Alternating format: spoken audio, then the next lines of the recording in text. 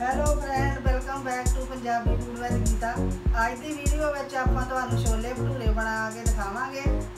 ਤੇ ਇਸ ਤਰ੍ਹਾਂ ਬਣਾਏ ਜਾਂਦੇ ਆ ਛੋਲੇ ਭਟੂਰੇ। ਬਾਕੀ ਮੇਰੀ ਵੀਡੀਓ ਨੂੰ ਲਾਈਕ ਸ਼ੇਅਰ ਤੇ ਸਬਸਕ੍ਰਾਈਬ ਜ਼ਰੂਰ ਕਰ ਦਿਆ ਕਰੋ। ਚਲੋ ਦੱਸਦੇ ਆ ਆਪਣੇ ਘਰ ਦੇ ਵਿੱਚ ਕਿਸ ਤਰ੍ਹਾਂ ਬਣਾਏ ਜਾਂਦੇ ਛੋਲੇ ਭਟੂਰੇ। ਅੱਜ ਦੀ ਵੀਡੀਓ ਵਿੱਚ ਆਪਾਂ ਛੋਲੇ ਭਟੂਰੇ ਬਣਾ ਕੇ ਤੁਹਾਨੂੰ ਦਿਖਾਵਾਂਗੇ। ਛੋਲੇ ਭਟੂਰੇ ਬਣਾਉਣ ਵਾਸਤੇ ਜਿਹੜੀ ਜਿਹੜੀਆਂ ਚੀਜ਼ਾਂ ਦੀ ਲੋੜ ਹੈ ਤੁਹਾਨੂੰ ਦੱਸਦੇ ਆ ਤੇ ਚਲੋ ਸਭ ਤੋਂ ਪਹਿਲਾਂ ਆਪਾਂ ਭਟੂਰਿਆਂ ਦਾ ਤੁਹਾਨੂੰ ਸਮਾਨ ਦੱਸਦੇ ਆ ਭਟੂਰੇ ਬਣਾਉਣ ਵਾਸਤੇ ਇੱਕ ਕੋਲੀ ਵੱਡੀ ਮੈਂ ਮੈਦੇ ਦੀ ਲੈ ਲਈ ਸੀ। ਤੁਸੀਂ ਆਪਣੀ ਲੋੜ ਮੁਤਾਬਕ ਜਿੰਨਾ ਵੀ ਤੁਸੀਂ ਬਣਾਉਣੇ ਆ, ਇਸ ਤੋਂ ਵੱਧ ਵੀ ਲੈ ਸਕਦੇ ਆ, ਇਸ ਤੋਂ ਘੱਟ ਵੀ ਲੈ ਸਕਦੇ ਆ। ਤੇ ਇੱਕ ਵੱਡੀ ਕੌਲੀ ਦੇ ਹਿਸਾਬ ਨਾਲ ਤੁਹਾਨੂੰ ਦੱਸਦੇ ਆ ਕਿਹੜੀ ਕਿਹੜੀਆਂ ਚੀਜ਼ਾਂ ਪੈਣੀਆਂ ਇਹ 'ਚ।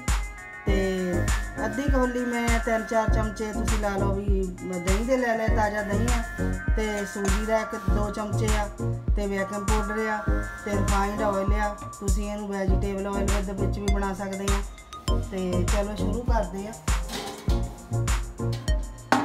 ਸਭ ਤੋਂ ਪਹਿਲਾਂ ਆਪਾਂ ਇੱਕ ਪਰਾਤ ਲਵਾਂਗੇ। ਪਰਾਤ ਨੂੰ ਧੋ ਕੇ ਸੁਕਾ ਕੇ ਮੈਂ ਰੱਖ ਲਿਆ। ਇਹ ਕਰਨ ਤੋਂ ਬਾਅਦ ਫਿਰ ਆਪਾਂ ਇਹਦੇ ਵਿੱਚ ਥੋੜਾ ਜਿਹਾ ਲੂਣ ਵੀ ਪਾਵਾਂਗੇ।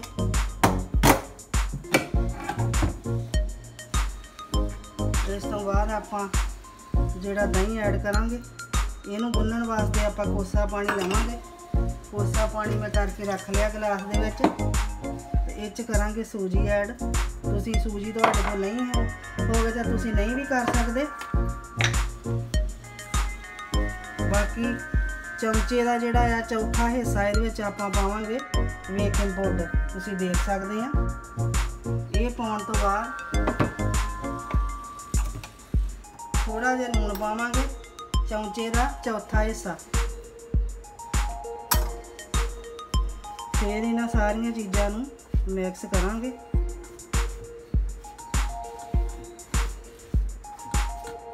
ਜਦੋਂ ਇਹ ਸਾਰੀਆਂ ਚੀਜ਼ਾਂ ਚੰਗੀ ਤਰ੍ਹਾਂ ਆਪਣੇ ਮੈਦੇ ਦੇ ਵਿੱਚ ਮਿਕਸ ਹੋ ਜਾਣ। ਇਸ ਤਰ੍ਹਾਂ ਹੱਥਾਂ ਦੇ ਨਾਲ ਚੰਗੀ ਤਰ੍ਹਾਂ ਸਾਰੇ ਆਟੇ ਮੈਦੇ ਦੇ ਵਿੱਚ ਇਹਨੂੰ ਮਿਕਸ ਕਰ ਲੈਣਾ। ਉਸ ਤੋਂ ਬਾਅਦ ਹੀ ਫਿਰ ਆਪਾਂ ਪਾਣੀ ਪਾਵਾਂਗੇ। ਹੁਣ ਹੌਲੀ ਹੌਲੀ ਕਰਕੇ ਇਹਦੇ ਵਿੱਚ ਆਪਾਂ ਗੁਣਗਣਾ ਪਾਣੀ ਪਾਵਾਂਗੇ, ਕੋਸਾ ਪਾਣੀ। ਥੋੜਾ ਥੋੜਾ ਕਰਕੇ ਇਸ ਤਰ੍ਹਾਂ ਹੱਥਾਂ ਦੇ ਨਾਲ ਮਲਾਂਗੇ।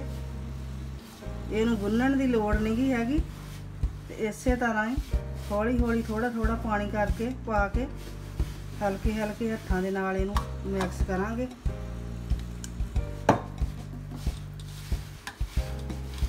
ਆਟਾ ਨਾ ਜਿਹੜਾ ਬਹੁਤਾ ਪਤਲਾ ਹੋਵੇ ਤੇ ਨਾ ਮੋਟਾ ਹੋਣਾ ਚਾਹੀਦਾ। ਮੀਡੀਅਮ ਸਾਈਜ਼ ਦੇ ਆਪਾਂ ਇਹਨੂੰ ਰੱਖਾਂਗੇ।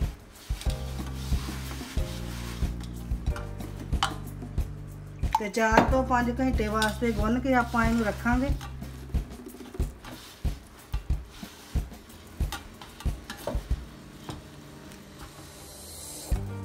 ਬਸ ਇਸੇ ਤਰ੍ਹਾਂ ਦਾ ਹੀ ਇਹਨੂੰ ਕਰਨਾ। ਜ਼ਿਆਦਾ ਇਹਨੂੰ ਗੁੰਨਣ ਦੀ ਲੋੜ ਨਹੀਂ। ਜ਼ਿਆਦਾ ਗੁੰਨਾਂਗੇ ਤੇ ਇਹ ਚੀੜਾ ਹੁੰਦਾ ਜਾਊਗਾ। ਜਦੋਂ ਆਪਾਂ ਭਟੂਰਾ ਬਣਾਉਣਾ ਤਾਂ ਫਿਰ ਉਹ ਇਕੱਠਾ ਹੋਣਾ ਸ਼ੁਰੂ ਹੋ ਜਾਂਦਾ। ਤੇ ਬਸ ਇਸ ਤਰ੍ਹਾਂ ਦਾ ਹੀ ਹੋਣਾ ਚਾਹੀਦਾ ਇਹ।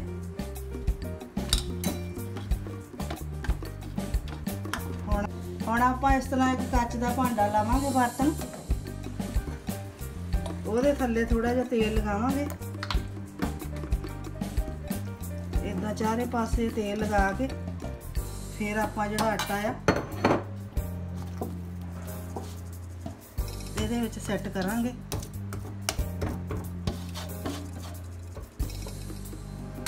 ਇਹਦੇ ਉੱਪਰ ਵੀ ਥੋੜਾ ਜਿਹਾ ਤੇਲ ਲਗਾ ਦਵਾਂਗੇ।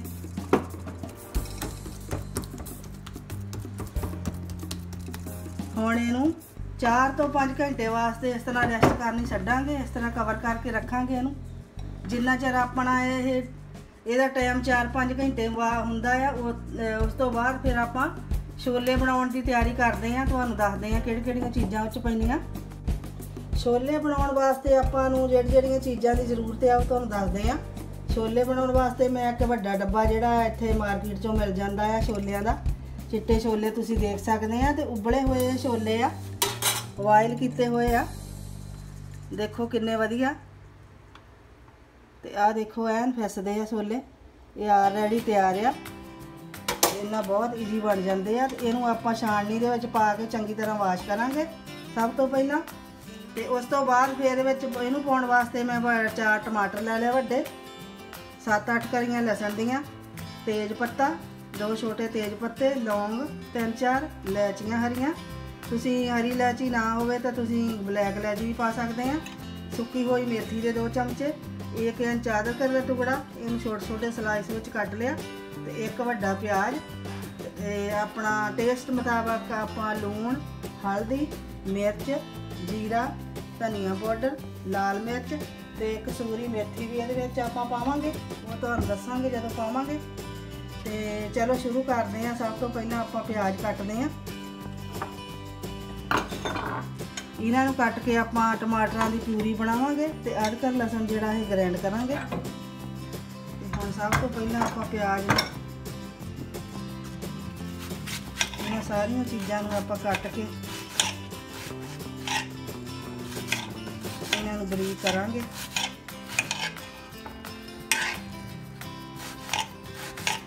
ਪਿਆਜ਼ ਕੱਟਣ ਤੋਂ ਬਾਅਦ ਫਿਰ ਆਪਾਂ ਅਦਰਕ ਲਸਣ ਤੇ ਟਮਾਟਰ ਸਾਰੀਆਂ ਚੀਜ਼ਾਂ ਕੱਟਾਂਗੇ।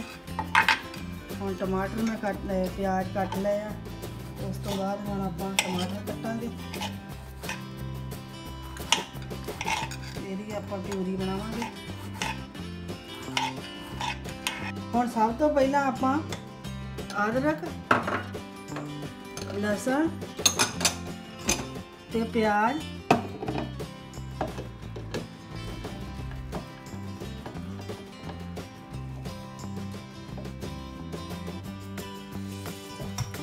ਥੋੜਾ ਜਿਹਾ ਪਾਣੀ ਪਾ ਕੇ ਇਹਦੇ ਵਿੱਚ।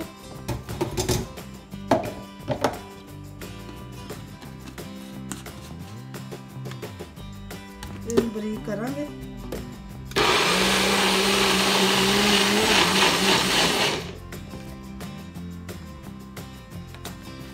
ਹੁਣ ਅਦਰਕ ਲਸਣ ਤੇ ਪਿਆਜ਼ ਚੰਗੀ ਤਰ੍ਹਾਂ ਬਰੀਕ ਹੋ ਚੁੱਕਾ ਹੈ। ਇਹਨੂੰ ਹੁਣ ਆਪਾਂ ਇੱਕ ਕੌਲੀ ਵਿੱਚ ਕੱਢਾਂਗੇ।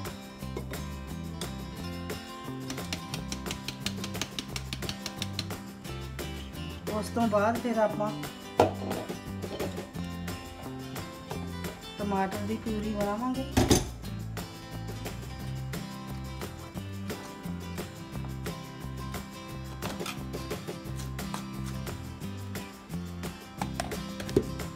ਟਮਾਟਰ ਦੀ ਪਿਊਰੀ। ਟਮਾਟਰ ਦੀ ਪਿਊਰੀ ਜਿਹੜੀ ਮੇਰੀ ਰੈਡੀ ਆ, ਤੇ ਹੁਣ ਆਪਾਂ ਛੋਲਿਆਂ ਨੂੰ ਧੋਵਾਂਗੇ, ਚੰਗੀ ਤਰ੍ਹਾਂ।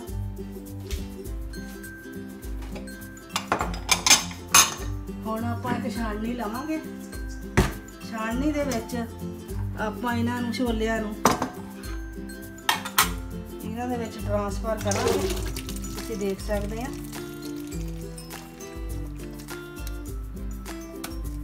ਤੇ ਚੰਗੀ ਤਰ੍ਹਾਂ ਇਹਨਾਂ ਨੂੰ 4-5 ਵਾਰੀ ਮਲ-ਮਲ ਕੇ ਧੋਵਾਂਗੇ ਠੰਡੇ ਪਾਣੀ ਨਾਲ।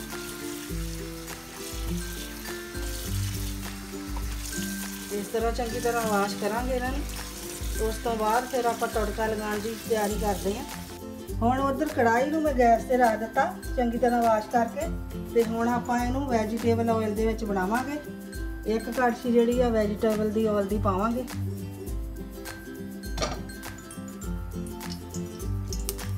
ਆਇਲ ਪਾਉਣ ਤੋਂ ਬਾਅਦ ਫਿਰ ਆਪਾਂ ਇਹਦੇ ਵਿੱਚ ਆਇਲ ਮੇਰਾ ਗਰਮ ਹੋ ਚੁੱਕਾ। ਹੁਣ ਆਪਾਂ ਇਹਦੇ ਵਿੱਚ ਤੇਜ ਪੱਤਾ ਇਲਾਇਚੀ ਤੇ ਲੌਂਗ ਪਾਵਾਂਗੇ।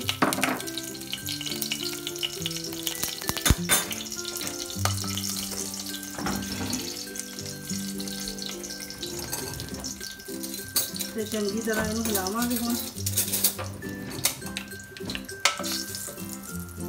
ਹੁਣ ਆਪਾਂ ਇਹਦੇ ਵਿੱਚ ਇੱਕ ਚਮਚਾ ਜਿਹੜਾ ਜੀਰੇ ਦਾ ਪਾਵਾਂਗੇ।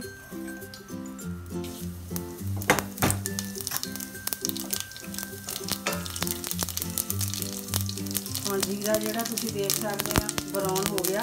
ਤੇ ਹੁਣ ਆਪਾਂ ਪਿਆਜ਼ ਪਿਆਜ਼ ਜਿਹੜਾ ਅਦਰਕ ਲਸਣ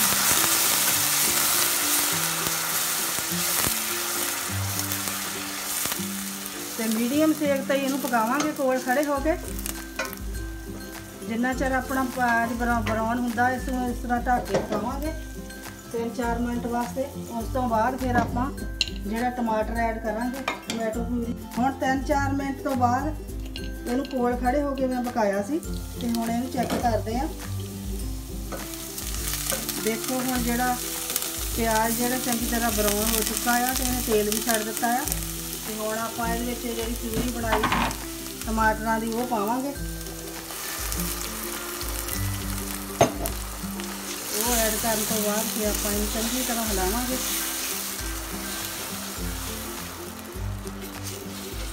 ਚੰਗੀ ਤਰ੍ਹਾਂ ਹਿਲਾਉਣ ਤੋਂ ਬਾਅਦ ਫਿਰ ਆਪਾਂ ਇਹਦੇ ਵਿੱਚ ਪਾਵਾਂਗੇ ਨਮਕ। ਨਮਕ ਦਾ ਮੈਂ 1.5 ਚਮਚਾ ਪਾਉਂਗੀ ਤੁਸੀਂ ਆਪਣੇ ਟੇਸਟ ਦੇ ਮੁਤਾਬਕ ਪਾ ਲੈਣਾ। ਅੱਧਾ ਚਮਚਾ ਜਿਹੜਾ ਇਹਦੇ ਵਿੱਚ ਲਾਲ ਮਿਰਚ ਦਾ ਪਾਵਾਂਗੇ। ਅੱਧਾ ਚਮਚਾ ਜਿਹੜਾ ਇਹ 'ਚ ਗਰਮ ਮਸਾਲੇ ਦਾ। ਅੱਧਾ ਚਮਚ ਜਿਹੜਾ ਧਨੀਆ ਪਾਊਡਰ ਦਾ। ਅੱਧਾ ਮੇ- ਚਮਚ ਜਿਹੜਾ ਆਪਾਂ ਹਲਦੀ ਪਾਊਡਰ ਪਾਵਾਂਗੇ। ਇਹਦੇ ਨਾਲ ਹੀ ਆਪਾਂ ਦੇਗੀ ਮਿਰਚ ਪਾਵਾਂਗੇ ਕਲਰ ਵਾਸਤੇ। ਇਹ ਪਾਉਣ ਦੇ ਨਾਲ ਕਲਰ ਬਹੁਤ ਵਧੀਆ ਬਣਦਾ ਛੋਲਿਆਂ ਦਾ। ਅੱਧੇ ਕੁ ਚਮਚੇ ਦੇ ਹਿਸਾਬ ਨਾਲ ਆਪਾਂ ਪਾਵਾਂਗੇ। ਇਹ ਪਾਉਣ ਤੋਂ ਬਾਅਦ ਫਿਰ ਚੰਗੀ ਤਰ੍ਹਾਂ ਇਹਨਾਂ ਚੀਜ਼ਾਂ ਨੂੰ ਮਿਕਸ ਕਰਾਂਗੇ। ਤੇ ਹੁਣ ਜਿੰਨਾ ਚਿਰ ਇਹ ਚੀਜ਼ਾਂ ਸਾਰੀਆਂ ਤੇਲ ਨਹੀਂ ਛੱਡ ਦਿੰਦੀਆਂ, ਉਹਨਾਂ ਚਿਰ ਫਿਰ ਆਪਾਂ ਉਸ ਤੋਂ ਬਾਅਦ ਫਿਰ ਆਪਾਂ ਛੋਲੇ ਪਾਵਾਂਗੇ। ਹੁਣ ਥੋੜਾ ਜਿਹਾ ਵਿੱਚ ਇਹਨੂੰ ਪਾਣੀ ਐਡ ਕਰਾਂਗੇ, ਤਾਂ ਕਿ ਆਪਣਾ ਜਿਹੜਾ ਮਸਾਲਾ ਆ ਥੱਲੇ ਨਾ ਲੱਗ ਸਕੇ। ਤੇ ਜਿਹੜਾ ਆਪਾਂ ਤੇਜ ਪੱਤਰ ਲੌਂਗ ਤੇ ਇਲਾਇਚੀ ਪਾਏ ਆ, ਇਹਨਾਂ ਦੇ ਨਾਲ ਛੋਲਿਆਂ ਦੀ ਖੁਸ਼ਬੂ ਜਿਹੜੀ ਬਹੁਤ ਹੀ ਵਧੀਆ ਆਉਂਦੀ ਆ। ਤੇ ਹੁਣ ਆਪਾਂ ਇਹਨੂੰ ਢੱਕ ਕੇ 4-5 ਮਿੰਟ ਲਈ ਪਕਾਵਾਂਗੇ, ਤੇ ਉਸ ਤੋਂ ਬਾਅਦ ਫਿਰ ਆਪਾਂ ਛੋਲੇ ਪਾਵਾਂਗੇ, ਫਿਰ ਤੁਹਾਨੂੰ ਦਿਖਾਉਂਦੇ ਆ। ਹੁਣ ਚੈੱਕ ਕਰਦੇ ਆ ਮਸਾਲੇ ਨੂੰ। ਦੇਖੋ ਕਿੰਨਾ ਵਧੀਆ ਇਹਦਾ ਕਲਰ ਆਇਆ। ਤੇ ਤੇਲ ਵੀ ਛੱਡ ਦਿੱਤਾ ਮਸਾਲੇ ਨੇ। ਇਸ ਤਰ੍ਹਾਂ ਦੀ ਸਟੇਜ ਤੇ ਹੋਣਾ ਚਾਹੀਦਾ ਆ। ਫੇਰ ਹੀ ਆਪਣੇ ਛੋਲੇ ਜਿਹੜੇ ਵਧੀਆ ਬਣਦੇ ਆ, ਮਸਾਲੇ ਚੰਗੀ ਤਰ੍ਹਾਂ ਪੱਕ ਜਾਣ ਤਾਂ ਤੁਸੀਂ ਦੇਖ ਸਕਦੇ ਆ। ਹੁਣ ਛੋਲਿਆਂ ਨੂੰ ਜਿਹੜਿਆਂ ਨੂੰ ਆਪਾਂ ਧੋ ਕੇ ਰੱਖਿਆ ਸੀ, ਹੁਣ ਆਪਾਂ ਐਡ ਕਰਾਂਗੇ। ਐਡ ਕਰਨ ਤੋਂ ਬਾਅਦ 2-3 ਮਿੰਟ ਵਾਸਤੇ ਹੋਰ ਪਕਾਵਾਂਗੇ ਤਾਂ ਕਿ ਜਿਹੜਾ ਸਾਰਾ ਮਸਾਲਾ ਹੈ ਆਪਣਾ ਛੋਲਿਆਂ ਦੇ ਵਿੱਚ ਚੰਗੀ ਤਰ੍ਹਾਂ ਅੰਦਰ ਤੱਕ ਜਾ ਸਕੇ। ਉਸ ਤੋਂ ਬਾਅਦ ਫਿਰ ਆਪਣੇ ਛੋਲੇ ਰੈ- ਰੈਡੀ ਆ। ਇਸ ਤਰ੍ਹਾਂ ਆਪਾਂ ਇਹਨੂੰ ਕਵਰ ਕਰਕੇ ਪਕਾਵਾਂਗੇ। ਉਸ ਤੋਂ ਬਾਅਦ ਫਿਰ ਆਪਾਂ ਭਟੂਰੇ ਬਣਾਉਣੇ ਜਿਹੜੇ ਸ਼ੁਰੂ ਕਰਾਂਗੇ।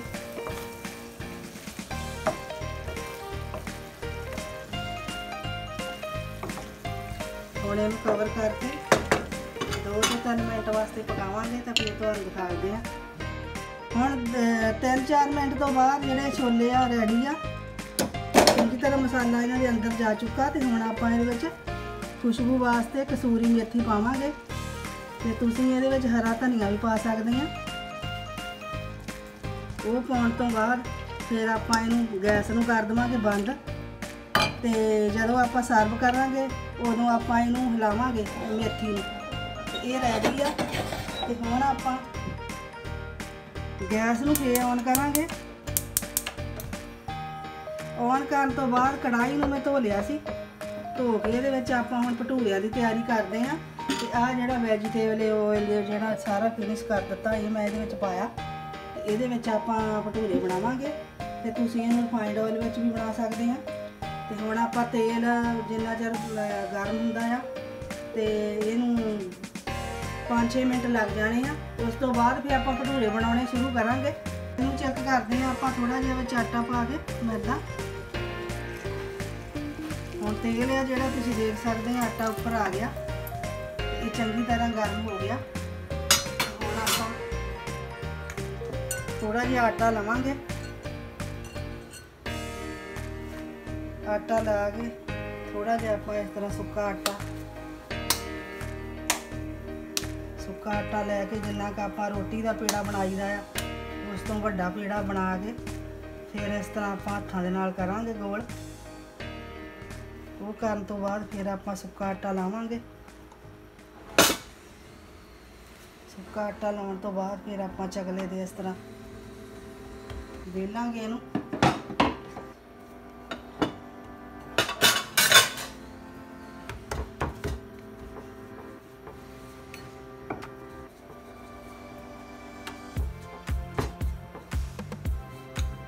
ਗੋਲ ਬਣਾਵਾਂਗੇ ਆਪਾਂ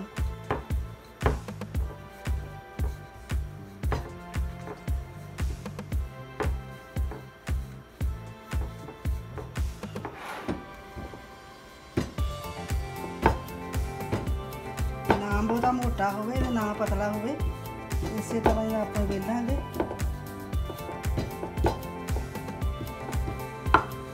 ਵੇਲਣ ਤੋਂ ਬਾਅਦ ਫਿਰ ਆਪਾਂ ਇਹਨੂੰ ਚੱਕ ਚੱਕਾਂਗੇ, ਚੱਕ ਕੇ ਫਿਰ ਆਪਾਂ ਇਹਨੂੰ ਇਸ ਤਰ੍ਹਾਂ ਕੜਾਈ ਛੱਡਾਂਗੇ। ਤੇਲ ਤੇਲ ਪਾਵਾਂਗੇ।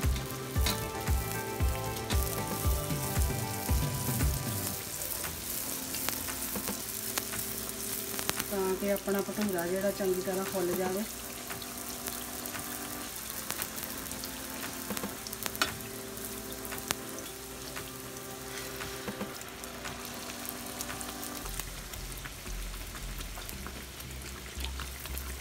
ਇਸ ਤਰ੍ਹਾਂ ਤੇਲ ਪਾ ਕੇ ਇਹਨੂੰ ਬਰਾਉਨ ਕਰਾਂਗੇ